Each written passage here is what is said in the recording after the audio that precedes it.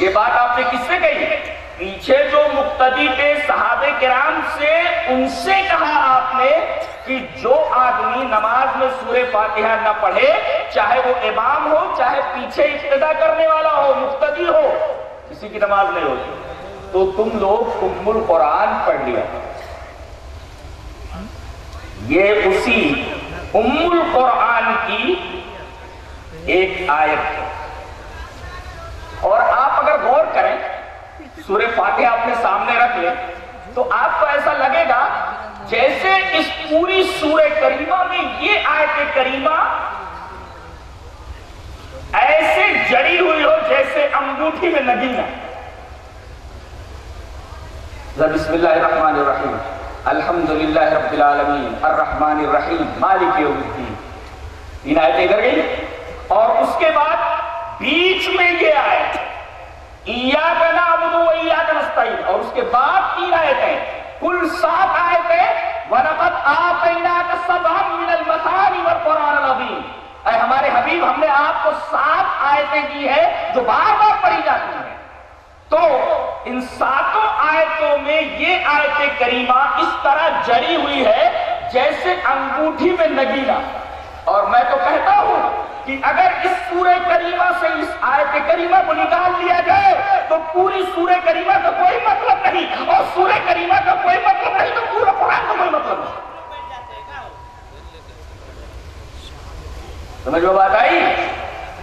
اس آیت کو اگر سورہ فاتحہ سے نکال دیا جائے تو سورہ فاتحہ کا کوئی مطلب نہیں۔ اتنی عظیم الشان آیت۔ آج ہم اس پوری آیت کے اوپر بحث نہیں کریں گے۔ بلکہ آپ غور کریں تو اس آیت کریمہ میں دو سینٹینسز ہیں، دو جملے۔ ہم پہلے جملے کے اوپر بحث کریں گے اور اسی کے اوپر ہماری گفتگو چلتی رہے گی جب تک اللہ چلاتا رہے۔ پہلا ٹکڑا ہے ایاک نعبد. اور دوسرا ٹکڑا، وہ ایاک نستعین تو ہم وہ ایاک نستعین سے بحث نہیں کریں گے. آج ہم اس سورہ کریمہ کی اس عظیم الشان آیت کریمہ کے فرسٹ سنٹنس پہلی آیت، اس آیت کریمہ کے پہلے ٹکڑے کے اوپر گفتگو کریں گے۔ آئیے اس کا ترجمہ دیکھ لیتے ہیں۔ ترجمہ کروں؟ ہم تیری عبادت کرتے ہیں۔ ترجمہ صحیح ہے؟ غلط ہے۔ ہم تیری عبادت کرتے ہیں۔ ترجمہ صحیح ہے؟ غلط ترجمہ ہے۔ ہم تیری عبادت کرتے ہیں، اس کا مطلب ہو سکتا ہے ہم دوسرے کی بھی عبادت کرتے ہیں ایک شبہ ہے۔ اچھا۔ اب ہم ترجمہ کرتے ہیں۔ ہم تیری بھی عبادت کرتے ہیں ترجمہ صحیح ہے؟ بیوی یہ کہے، میں تیری بھی بیوی ہوں۔ جوتے مار کر کے چور کو گھر پہ نکال دے گا۔ تو ہم تیری عبادت کرتے ہیں، یہ ترجمہ غلط۔ ہم تیری بھی عبادت کرتے ہیں، یہ ترجمہ بھی بالکل غلط ہے۔ یہ تو ایسے ہوا، بیوی یہ کہے، میں تیری بھی بیوی ہوں یعنی کسی اور کی بھی ہوں۔ بلکہ ترجمہ یہ ہوگا، ہم تیری ہی عبادت کرتے ہیں۔ یہ ترجمہ صحیح ہوا۔ ہم تیری عبادت کرتے ہیں، ترجمہ صحیح نہیں۔ ہم تیری بھی عبادت کرتے ہیں، ترجمہ صحیح نہیں۔ ہم تیری ہی عبادت کرتے ہیں، یہ ترجمہ صحیح ہے۔ اور بات جب آ ہی گئی ہے، ہم تیری بھی عبادت کرتے ہیں، کی؟ تو آئیے اس موقع پر امام بخاری رحمت اللہ علیہ۔ کتاب التوحید کے اندر ایک روایت لاتے ہیں بڑی عجیب و غریب، وہ پڑھ لے پڑھے پڑھیں؟ سانس روک لو سورا پڑھ رہا حدیث اس طرح۔ وان وراد کاتب المغیرت یعنی المغیرت قال قال سعد بن عبادة رضی اللہ تعالیٰ عنہ۔ لو رأيت رجلا مع امرأتي لغرقته بالسيف غير مصبح فبلغ ذلك رسول الله صلى الله عليه وسلم فقال أتعجبون من غيرة سعد والله أنا أغير والله أغير مني. ومن أجل غيرة الله حرم الفواحش ما ظهر منها وما بطن. ولا أحد أحب إليه الأذر من الله. ومن أجل ذلك بعث المبشرين والمنذرين. ولا أحد أحب إليه المدحة من الله. ومن أجل ذلك بعث الله الجنة. رواه البخاري في كتاب التوحيد. حضرت امام بخاری اس حدیث پاک کو ایسے ہی کتاب التوحید کے اندر لائے، ایک صفحے کی پوری روایت تھی، پڑھ دی گئی۔ آپ غور سے سنو۔ پوری حدیث میں کہیں توحید کا ذکر نہیں ہے۔ توحید کی تے موجود نہیں ہے اور شرک کی شین موجود نہیں ہے۔ لیکن امام بخاری سے کتاب توحید پہ لائے۔ ایسی بات نہیں ہے۔ پوری حدیث میں توحید کی تے اور شرک کی شین موجود نہیں ہے۔ اس کے باوجود حضرت امام بخاری اس حدیث کو کتاب التوحید میں لا رہے ہیں۔ کیوں لائے ہیں اس کو؟ ترجمہ دیکھ لیجیے مغیرہ ابن شعبہ فرماتے ہیں کہ حضرت سعد ابن عبادہ نے ایک دفعہ کہا، یہ مشہور صحابی حضرت سعد ابن کہ اگر میں کسی غیر مرد کو اپنی بیوی کے ساتھ تنہائی میں دیکھ لوں، لو رأیت رجلا مع امراتی، اگر میں کسی غیر مرد کو اپنی بیوی کے ساتھ تنہائی میں دیکھ لوں، تو لدربتہ بالسیف I will kill both of them یا I will kill him میں کر دوں گا اپنی تلوار سے لدربتہ بالسیف اپنی تلوار سے میں اس کی گردن اڑا دوں گا یہ کون بول رہے ہیں حضرت سعد بن عبادہ اچھا یہ بات سعد بن عبادہ کی نبی کریم صلی اللہ علیہ وسلم کو پہنچی فبلغ ذلك رسول اللہ صلی اللہ علیہ وسلم یہ بات سعد بن عبادہ کی نبی کریم صلی اللہ علیہ وسلم کو پہنچی کہ سعد یہ کہتے ہیں کہ اگر میں اپنی بیوی کے ساتھ کسی غیر مرد کو دیکھ لوں، تو آئی ول کل بوتھ آف دم سب کو مار دوں گا میں دونوں کو۔ نبی کریم صلی اللہ علیہ وسلم نے فرمایا اتا جمون من غیرت سعد؟ سعد کی غیرت دیکھ رہے کتنے غیرت مند ہے کہ وہ اپنی بیوی کے بارے میں کہہ رہے ہیں کہ اگر اس کے ساتھ میں کسی غیر مرد کو دیکھ لوں تو اس کو قتل کر دوں گا۔ سنو، وہ یہ بات غیرت کی وجہ سے کہہ رہے ہیں۔ اور میں سات سے زیادہ غیرت مند ہوں۔ اور اللہ مجھ سے زیادہ غیرت مند سات غیرت مند ہے، میں سات سے زیادہ غیرت مند اور اللہ مجھ سے زیادہ غیرت مند ہے۔ بتاؤ، ایک غیرت مند آدمی جب اپنی بیوی کے ساتھ کسی غیر مرد کو دیکھنا پسند نہیں کرتا اور اس کی سزا صرف یہ تجویز کرتا ہے کہ اسے اپنی تلوار سے مار دوں اور اس سے زیادہ غیرت مند ہمارے نبی اور نبی سے زیادہ غیرت مند اللہ جب آدمی اپنی بیوی کے ساتھ کسی غیر مرد کی شرکت گوارا نہیں کر سکتا، تو اللہ اپنی عبادت میں کسی اور کی شرکت کیسے گوارا کر سکتا ہے؟ جب وہ آدمی قابل قتل تو نہیں ہے، تو یہ آدمی جو شرک کرنے والا ہے، ہمیشہ جاننے میں رہنے کا رہے گا۔ یہ مطلب ہے اس حدیث کا کتاب توحید ملا دیکھ رہے ہیں؟ یہ ہے توحید۔ اللہ مصیبت آتی تھی پہلے تو کافر اور مشرک بھی۔ اللہ کو پکارتا تھا۔ سارے معبودان باطلہ بھول جاتے تھے۔ اور ایک بات یہی کہہ دوں کہ اللہ ہی حق ہے۔ اللہ ہی حق ہے۔ اور اللہ کے علاوہ جن جن کو پکارا جا رہا سب باطل۔ ہے دلیل؟ دلیل۔ یہ آیت کریمہ ذالک بان اللہ هو الحق وان ما يدعون من دونه هو الباطل یہ جان لو کہ اللہ ہی حق ہے۔ ذالک بان اللہ هو الحق۔ اللہ ہی حق ہے۔ وان ما يدعون من دونه۔ اللہ کے علاوہ جو لوگ دوسروں کو پکارتے ہیں۔ بابا! رسول! یا صاحب زمان یا غوث! یا دستگیر! یہ جو پکارتے ہیں، سنو۔ وَأَنَّمَا يَدْعُونَ مِن دُونِهِ هُوَ الْبَاطِلِ۔ اللہ ہی حق ہے۔ اللہ کو چھوڑ کر کے سب کے سب باطل ہے ان کو پکارنا صحیح نہیں ہے ایک جگہ اللہ نے یہ فرمایا، لہو دعوت الحق، اسی کو پکارنا برحق ہے۔ والذین يدعون من دونه لا يستجيبون لهم بشيء الا كباسط كفيه الى الماء ليبلغ فاه وما هو ببالغ۔ وما دعاء الكافرين الا في ضلال کیا تمثیل ہے۔ یہ آسمانی تمثیل ہو سکتی انسان ایسی مثال نہیں دے سکتا۔ فرمایا گیا، اسی ایک کا پکارنا مصیبتوں میں، پریشانیوں میں دکھ سکھ میں صرف اسی کو پکارنا برحق۔ اور والذین یدعون من دونه اللہ کو چھوڑ کر جو دوسروں کو پکارتے ہیں، یہ لوگ اس کی آواز سن کر اس کا جواب نہیں دے سکتے۔ سنتے بھی نہیں جواب لا يستجیبون لهم بشیء یہ تمہاری پکار کا جواب نہیں دے سکتے۔ ارے تمہاری تو مثال ایسے ہے۔ جو اللہ کو چھوڑ کر کے کسی اور کو پکارے، کہ سامنے دریا بہ رہا ہو۔ اور اس کے سامنے کوئی پیاسا ہاتھ پھیلائے کھڑا ہوا ہو۔ کباس کی کفہی اللہ پانی کی طرف اپنی ہتھیلی پھیلائے ہوا لیب لوگا پاؤ، تاکہ وہ پانی اس کے منہ میں آ جائے۔ وما ہوا ببالغی پانی کبھی اٹھ کر اس کے منہ تک نہیں آتا۔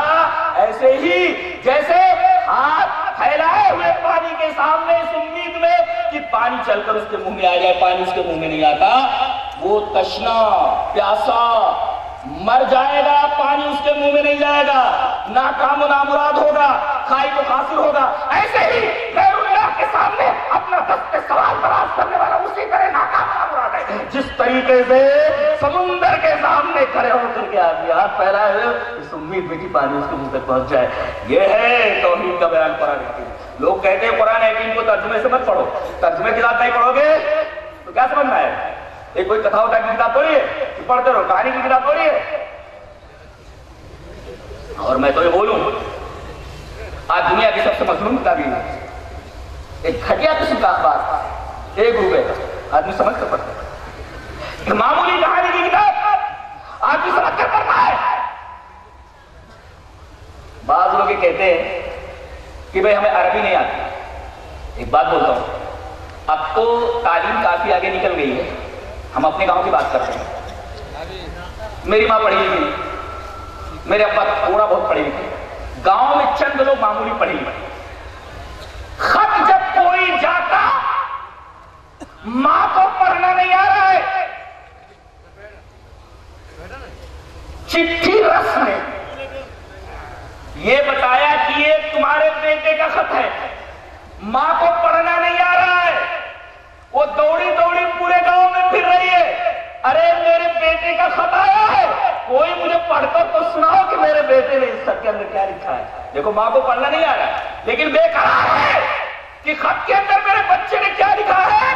میں اسے سمجھ لوں، مجھے پڑھنا نہیں آ رہا، تو دوسروں سے پڑھا کر سن لوں۔ اللہ فرما رہے آگا بلاغ الناس یہ قرآن میرا خط ہے انسانیت کے نام۔ اب بتاؤ، انسانوں کے نام یہ خط ہے۔ انسان ایک خط اور ایک اخبار سمجھ کر پڑھتا ہے، مگر اللہ کا یہ قرآن، اللہ کا یہ خط کہتا ہے کہ میں سمجھ کر پڑھنا نہیں چاہتا، میں سمجھ نہیں سکتا، میں پڑھ نہیں سکتا۔ ارے، پڑھ نہیں سکتا تو پڑھنے والوں سے پوچھ لینا۔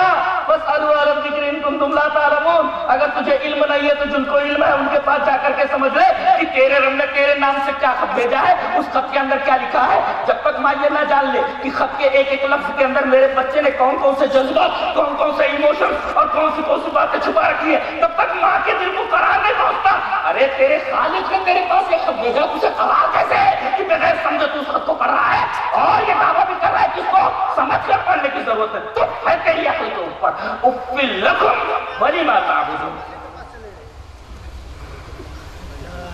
اللہ اکبر۔ ہم یہ کہہ رہے تھے کہ اللہ کی حق ذالک بأن اللہ هو الحق وأن ما يدعون من دونه هو الباطل۔ اللہ کے علاوہ جن جن کو پکارتے ہیں، سب باطل ایک آیت کریمہ بہت دنوں کے بعد مجھے سمجھ میں چلو آیت کریمہ پہلے پڑھتے ہیں۔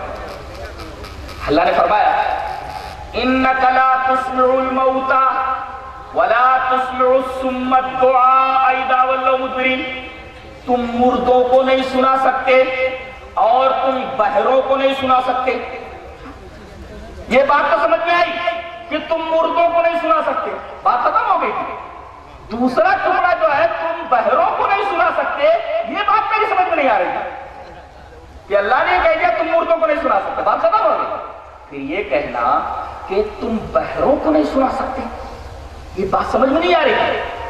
غور کرنے کے بعد یہ خدا اس طرح کھلا کہ ان نقلا تسمع الموتا یہ دعویٰ ہے۔ اور ولا تسمع السمت دعا اسی دعوے کی دلیل ہے۔ دعویٰ یہ ہے کہ تم مردوں کو نہیں سنا سکتے، دلیل یہ ہے کہ تم بہروں کو نہیں سنا سکتے۔ بجھا جائے، تو کون بھائی؟ بولے بہرا ڈیف ڈیف ہی ہوا اچھا ٹھیک ہے۔ تو یہ بہرا ہاتھ سے کام کر سکتا ہے؟ ہاں، کر سکتا ہے۔ پیر سے چل سکتا ہے؟ ہاں چل سکتا ہے کھانا کھا سکتا ہے ہاں کھانا کھا سکتا ہے سانس لے سکتا ہے بولے سانس لے سکتا ہے شادی بیاہ کر سکتا ہے بولے کر سکتا ہے بچے پیدا کر سکتا ہے بولے پیدا کر سکتا ہے کیا کمی ہے اس کے اندر سب کچھ تو ہے سب کچھ تو ہے صرف یہ آواز نہیں سن سکتا اللہ یہ فرمانا چاہ رہا ہے کہ یہاں سب کچھ صحیح سالم ہے صرف ایک چیز نہیں ہے کان ارے کان لے لوں تو نہیں سنا سکتے جان لے لوں تو نہیں سنا یہ مطلب ہے نہیں سنتا آپ لوگ کہتے لوگ اتنا اچھا استدلال اللہ تبارک مطالعہ کا کلام مزہ نہیں ہے ارے پہرے کے بعد تو سب کچھ ہے اچھا ایک کے واقعہ سنا دوں اس کے بعد سمجھ میں آ رہا ہے آدمی جب بہت بوڑھا ہو جاتا ہے، تو سب سے زیادہ بوجھ کس کے اوپر لگنے لگتا ہے؟ بہو کے اوپر۔ پہلا کھانستا رہتا ہے، بہو! ہاں بابا۔ چائے لانا بیٹا۔ لا رہی۔ تھوڑی دیر بعد۔ پانی لانا بیٹا۔ سب سے زیادہ بوجھ یہ بنا ہوا ہوتا ہے بہو کے اوپر۔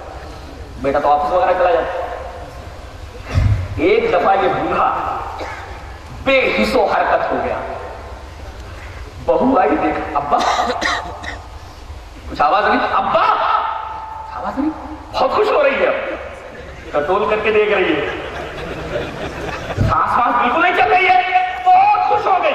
کہا کہ اب تابوت میں آخری کیل اس طرح ٹھوک دے کہ کسی ڈاکٹر کو بلا رہا ہے۔ وہ معاملہ کلیئر کر دے؟ کہ با حیات ہے کہ بے حیات؟ ڈاکٹر آیا۔ پیر دیکھا۔ گھر والے سب جمع۔ کہا کہ اس کے پیر بالکل پہلے جیسے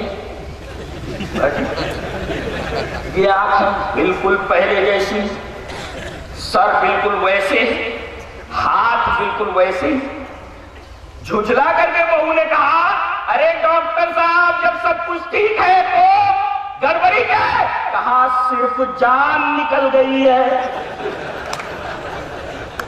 کیا صرف جان نکل گئی ہے؟ ارے وہی تو اصل ہے، وہی تو اصل ہے، جان کا نکل جانا۔ بقیہ ساری چیزیں اگر ویسی کی ویسی ہے تو اسے کیا فرق پڑتا ہے؟ تو اللہ یہ فرما رہا ہے کہ تم مردے کو نہیں سنا سکتے۔ اس لیے کہ ہم نے اس کا سب کچھ لے لیا لیکن بہرا، اس کے اندر جان تو ہے ہاتھ تو کام کر رہے، پیر تو کام کر رہے، تو تم مردوں کو نہیں سنا سکتے۔ دعویٰ، اس لیے کہ تم بہروں کو نہیں سنا سکتے، یہ اس کی دلیل۔ کہ اگر کان لے لوں تو نہیں سنا سکتے، اگر جان لے لوں تو کیسے سناؤ گے اور یہی بات اللہ تبارک و تعالیٰ نے سورہ احقاف میں ارشاد فرمائی۔ ومن اضل ممن يدعو من دون الله من لا يستجيب له يوم الى يوم القيامه وهم عن دعائهم غافلون۔ اس آدمی سے زیادہ کون گمراہ ہو سکتا ہے؟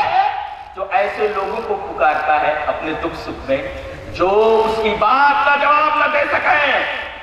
سکیں وہ غافلون، اور وہ اس کی پکار سے غافل ہوں۔ اس کا مطلب یہ ہے کہ ہماری آواز لوگوں تک نہیں پہنچ رہی ہے۔ تو پکارنا ہے تو ہمیں زندہ و جاوید ہستی سے۔ جو زندہ ہے، ہمیشہ رہنے والی ہے، لا زوال ہے انمٹ ہے، ہمیشہ سے ہے، ہمیشہ رہے اسی کا نام توحید ہے۔ سمجھ گئے؟ اسی کا نام توحید آج کل نئے نئے نعرے ہیں یا غوث اعظم، یا دستگیر اسی طریقے سے ادرک یا صاحب الزمان۔ اور میں تو یہ کہتا ہوں کہ مشرقین مکہ، کفار مکہ، جب وہ کسی مصیبت میں پھنستے تھے، تو اس وقت تمام معبودان باطلہ کو بھول جاتے تھے۔ صرف اللہ یاد رہتا تھا۔ دلیل دلیل یا آیت کریمہ۔ والذی یسیرکم فی البر والبحر حتی اذا کنتم فی الفلک وجرین بهم بريح طیبة وفرحوا بها۔ جاءت ريح عاصف وجاءهم الموج من كل مكان. وظنوا انهم محيط بهم. دعوا الله مخلصين له الدين. لئن انجيتنا من هذه لنكونن من الشاکرین ایک نقشہ ہے پورا خوبصورت سا. کمال ہے. اللہ تبارک و تعالیٰ بات کس طرح بنا بات کس طرح کرتا ہے؟ کیا بات کرنے کا انداز ہے نہیں؟ والذی یسیرکم فی البر. خشکی میں وہی چلاتا ہے اور تئی میں وہی چلاتا ہے. فرض کرو، حتی اذا کنتم فی الفلک، تم کشتی میں طیبہ موافق ہوا چل رہی ہے، سازگار ہوا چل رہی ہے، کشتی جا رہی ہے اپنی منزل کی طرف۔ جاءت ریح عاصف ایک خوفناک ہوا آتی تیز و تند ہوا۔ اور کشتی کا مڈول ہونے لگتی وزن انہوں محیط کشتی پر بیٹھنے والے لوگوں کو یقین